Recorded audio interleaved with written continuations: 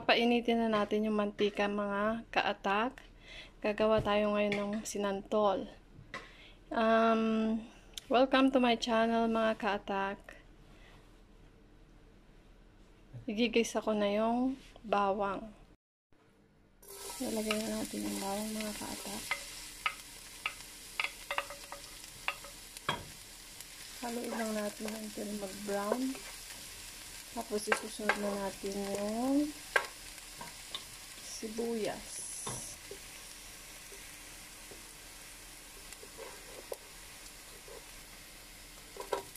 Next ay on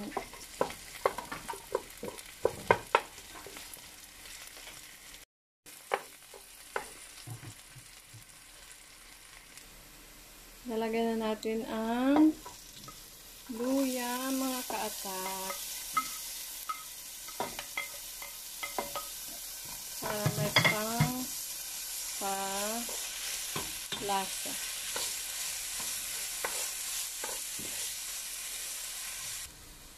Lalagyan na natin ang hipon, mga kaatak.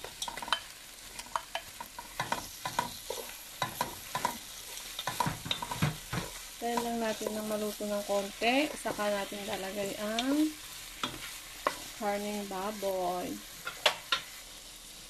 Lagyan natin yung baboy mga kaatak para ano. Lagyan natin yung Lagyan natin yung baboy.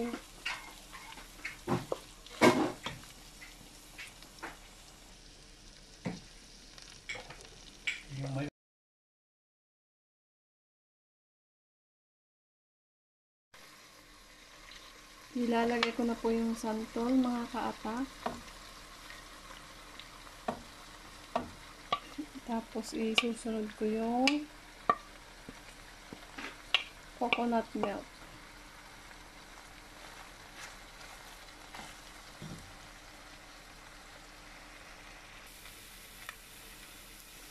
Ilalagay ko na yung coconut milk, mga kaapak. Wala kaming fresh uh, coconut milk dito, kaya ginamit ko yung coconut milk sa lata. Dalawa muna, mamaya yung isa.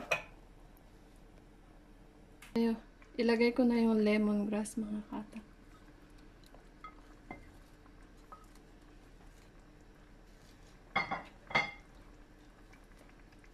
Tapos lalagay ko na rin yung asin at paminta.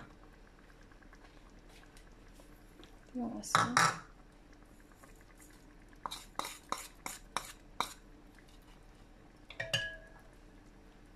Tsaka 2 teaspoon ng paminta.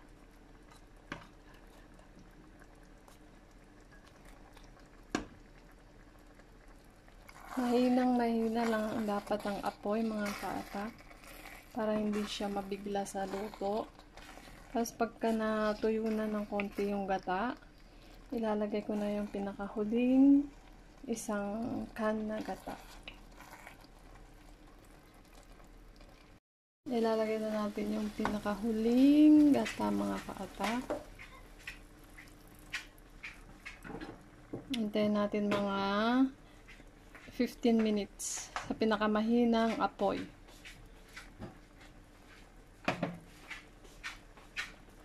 Tapos haluin natin ng konti para hindi siya manikit mga kaata.